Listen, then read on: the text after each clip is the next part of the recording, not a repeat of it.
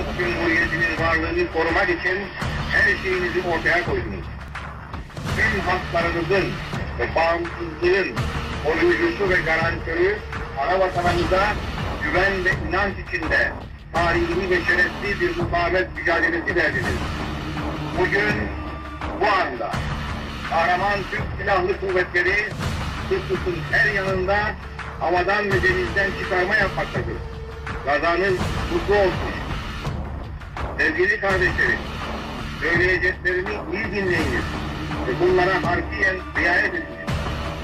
Türk Silahlı Kuvvetleri'nin bugün başlatmış olduğu harekat, bağımsızlığımızın garantörü olarak 1960 anlaşmalarının ana vatanımız Türkiye'ye vermiş olduğu meşru hak ve yetkilere dayanmaktadır.